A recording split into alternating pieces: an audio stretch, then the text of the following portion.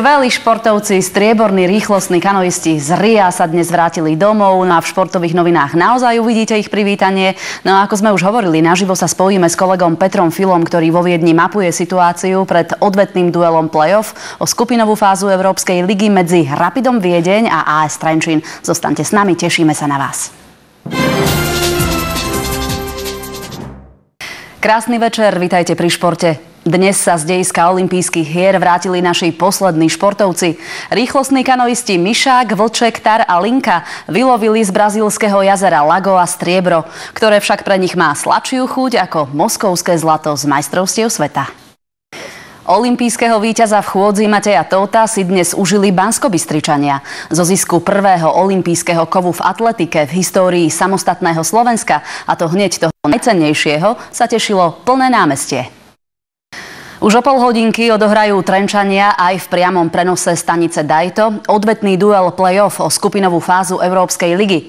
Po prehre 0-4 čaká zverencov Martina Ševelu pekelne ťažká úloha. Navyše na štadióne Rapidu Viedeň nastúpia v oklieštenej zostave. Viac nám už ale priamo z dejiska zápasu prezradí kolega Peter Filo.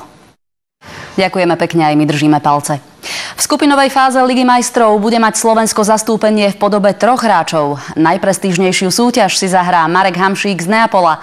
Na súpiske Borussie Mönchengladbach je Láslo Béneš a skupinu prestížnej súťaže si zahrá aj FC Kodaň s Janom Gregušom.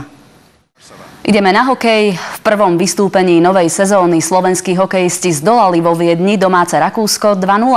Tréner Zdeno Cíger si otestoval mladých adeptov na reprezentačný dres. Pôvodne najmenšia ľadová plocha na Slovensku nadobudla počas leta rozmery európskych štandardov. Tie si v Poprade ako prvé otestovalo švédske Orebro bratov Hudáčkovcov a fínske Pelikan Lachty. Oba týmy zároveň odštartovali 69. ročník Tatranského pohára. Hokejisti Slovana Bratislava neúspeli ani vo svojom druhom zápase novej sezóny KHL, keď na ľade Lady Toliaty prehrali 2-5. No a frajera na záver sme pre vás dnes našli v Copa Sudamericana a palec dole dávame obrancovi Flamenga Alejandrovi Donatimu.